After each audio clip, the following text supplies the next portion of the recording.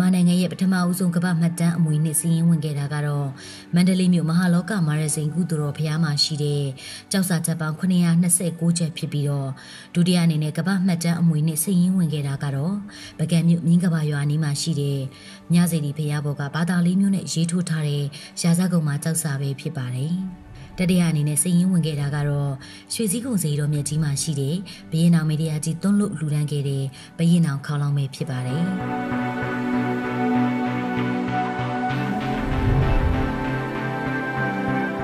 ထမဆုံးကမ္ဘာမှတ်တမ်းအမွေနှစ်ဖြစ်ခဲ့တဲ့ကုသိုလ်တော်ဘုရားကကြောက်စာချက်ပေါင်း929ချက်ဟာကိုမောင်ခင်နှောင်းပိုင်းမင်းတို့မင်းတရားကြီးကုသိုလ်ပြုခဲ့တဲ့ကြောက်စာချက်တွေပဲဖြစ်ပြီးတော့မြတ်စွာဘုရားရှင်ဟောကြားခဲ့တဲ့ဓမ္မခဏပေါင်း8400ကိုပါဠိဘာသာမြမအခေယာနဲ့ပထမဦးဆုံးမှတ်တမ်းမှတ်ရအဖြစ်စကြင်ကြောင်များပေါ်မှာရေးထုတ်ခဲ့တာပဲဖြစ်ပါတယ်ထေရဝါဒဗုဒ္ဓဘာသာနဲ့ပတ်သက်ပြီးတော့အတူမရှိတဲ့မှတ်တမ်းမှတ်ရာတွေဖြစ်တဲ့အတွက်ကမ္ဘာမှတ်တမ်းအမွေနှစ်အဖြစ်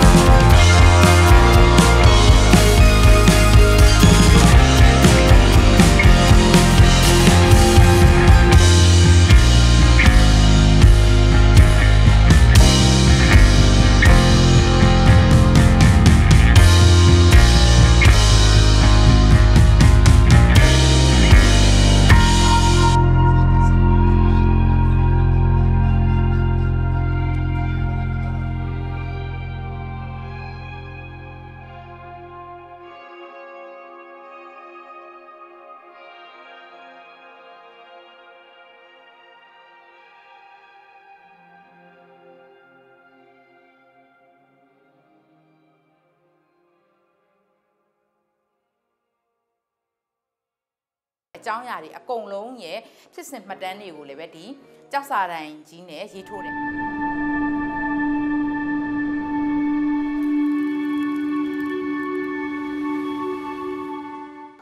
ကများစီဒီဖယားမကကြောက်စာတစ်ချက်ကိုညီမတို့တွေ့ရဆိုတော့အလားတူကြောက်စာကိုဘယ်မှာထားရှိသူလဲကရှင်ဟိုမလေးကဒီအများကြီးကြောက်စာရဲ့နောက်ထပ်အလားတူတစ်ချက်ကိုကြတော့ဟိုပါပေါ့ဟိုဟိုဟာပကန်းရှေးဟောင်းသူတွေတနာပြလိုက်စာပေပြကန်းထဲမှာအခြားကြောက်စာမြန်မာကြောက်စာ86ချက်ကိုလည်းပဲလေးလာနိုင်တယ်လို့ဒီဟိုပါပေါ့နော်အများကြီးဒီဒီလေးဘာသာတွေကိုလည်းလေးလာနိုင်တယ်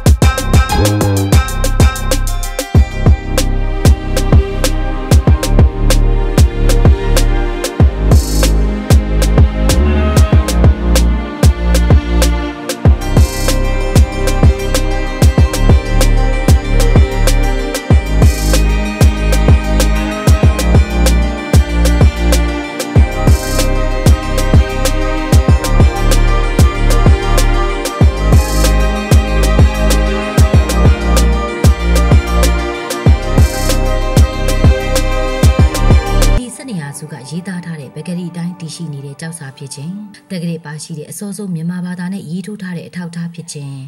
ဒေသအတွက်အလွန်ရှားပါတဲ့မျက်နှာစာလေးဘက်ပါရှိတဲ့ကြောက်စာဖြစ်ခြင်းကြောက်စာတိုင်းနှစ်တိုင်းပေါ်မှာရေးထိုးထားတဲ့အကြောင်းအရာအချက်လက်တူညီနေခြင်းထူးခြားထင်ရှားတဲ့စာ